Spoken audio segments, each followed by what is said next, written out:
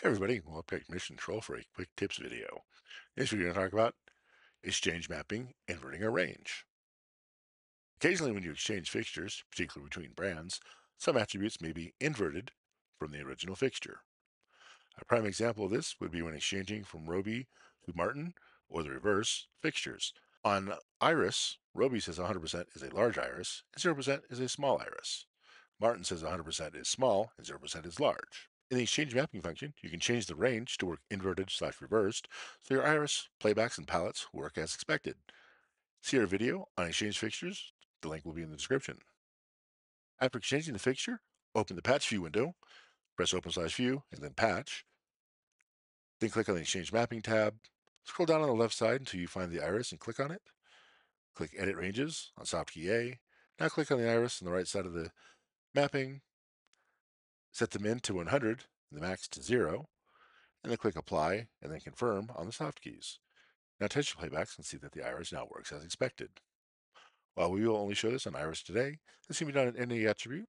This can be handy eh, on the shutter attribute, for example. So let's take a look at that. Here I'm on version 16 of Titan on the Titan Go virtual interface.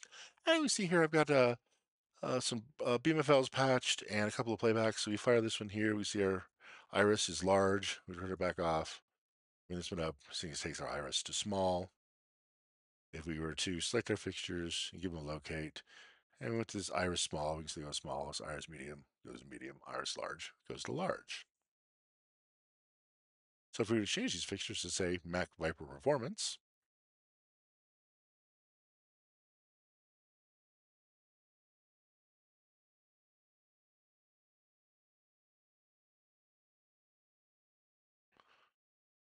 And we'll do the extended. And just change these here. Exchange. And exit out of that menu. Go back to this workspace here. And we fire this playback. We see our iris is small when it was supposed to be large. And our iris is large when it was supposed to be small. And if we just select the fixtures and throw a locate on them, and we did the same thing. We went iris small, they're large, we go to the medium, they're mid-size, iris large, they're small.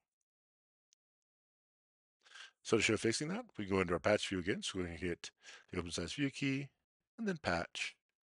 Then exchange mapping here, and we'll scroll till we can find the iris here. There it is. And then go ahead and click edit ranges.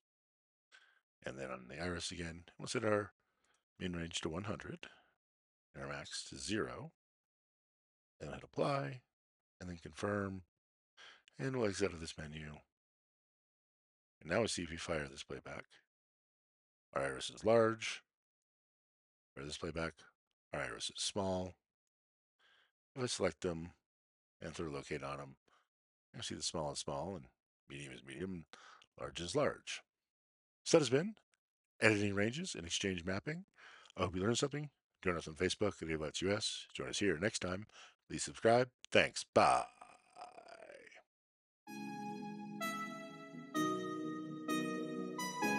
Wheel stop.